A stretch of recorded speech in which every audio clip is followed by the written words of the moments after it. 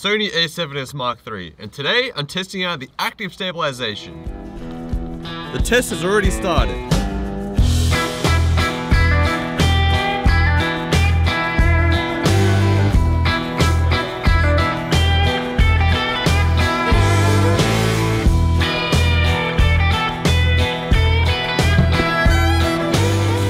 This is the 24 to 70 Zeiss lens that I'm using at the moment and today we're just going to be doing some general footage around the city and just really test out this lens with uh, 24, 50mm, 35mm, 70mm and show you what active stabilization looks like on the Sony a7S Mark III.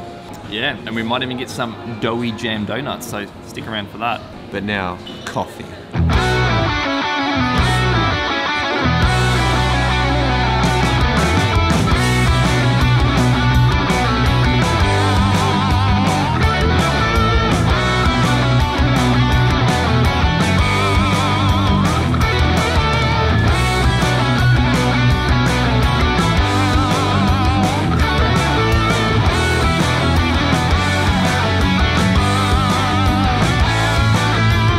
Gosh, is that the line for the donuts?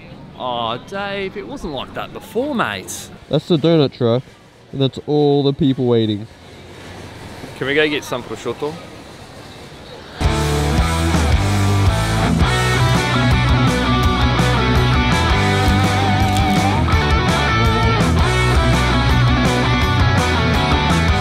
Jake got his prosciutto, and now we're in line for some donuts.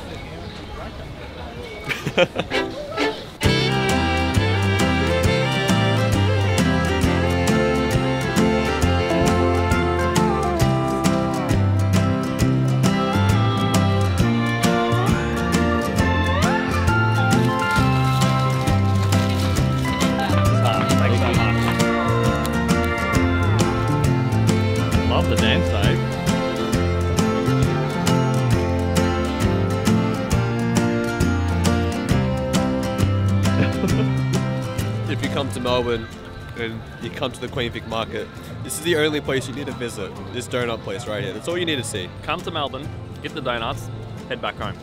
Simple.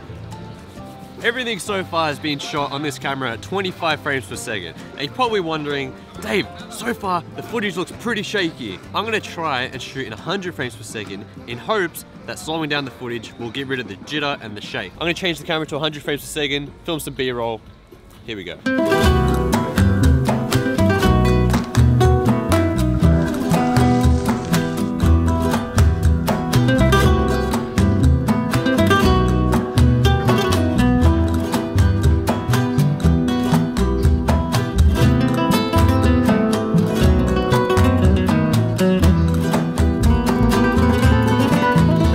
Alright guys, thanks for watching. That was a Sony a7S III active stabilization. Did it work? Did it not? Let me know in the comments below.